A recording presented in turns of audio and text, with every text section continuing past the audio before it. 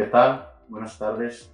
Yo soy el doctor Omar Ceballos, soy médico neumólogo e internista y estoy encargado del pabellón COVID en el Hospital de la Familia.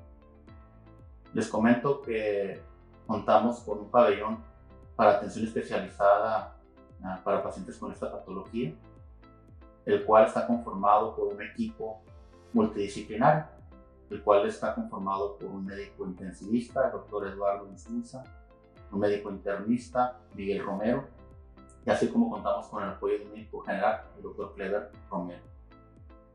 La intención es dar atención especializada, multidisciplinaria, las 24 horas del día. Cuando llega un paciente con esta enfermedad, eh, con algún síntoma, llega, puede llegar al área del triage del hospital, donde va a ser valorado por un grupo de médicos. Si se considera el paciente amerita hospitalización, pasa al pabellón.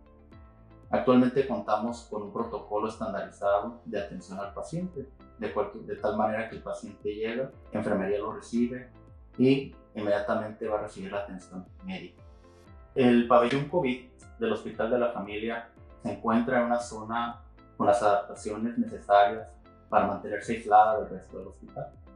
De tal manera que evitamos eh, que el personal y otros pacientes, colegas, en riesgo con este nuevo virus. Se cuenta con área para cambiarnos, vestirnos y ponernos el equipo de protección personal.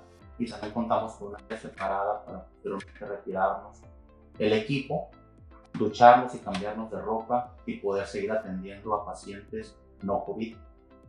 Les comento que el pabellón del Hospital de la Familia en atención COVID cuenta con un grupo eh, de enfermería que los hemos capacitado desde el inicio de la pandemia.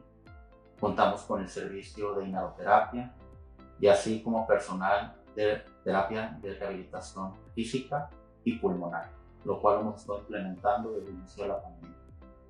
Cabe destacar que hemos tenido pacientes eh, de diferente gravedad, incluyendo pacientes intubados en ventilación mecánica, pacientes con terapias novedosas como alto flujo.